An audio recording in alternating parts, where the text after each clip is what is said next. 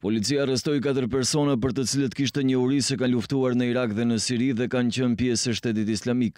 Ndaj tyre është propozuar masa e paraburgimit, shtatë persona dyshohen për terrorizëm, pesë janë nga Shkupi dhe dy nga Tetova dhe Kumanova. Ministria e Brendshme i ngarkon ata për pjesëmarrje në organizatë terroriste. Gjatë bastisjes, policia ka gjetur CD, kompjuter, celularë, USB, tre pasaporta dhe veshje në gjuhën arabe, Shteti Islam është i përhershëm.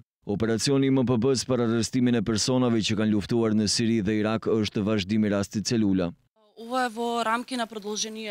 Kjo është në suazat e operacionit Celula, nëse ka lidhje mes tyre dhe a kanë qenë të rekrutuar nga persona të njëjtë, do të vërtetohet në procedurën e mëtejme.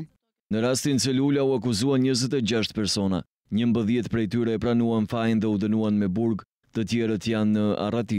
Policia këtë aksion e kreu në gusht të vitit të kaluar kur u zbulua se përmes xhamive dhe OJQ-ve janë angazhuar luftëtarë për ushtri të huaja.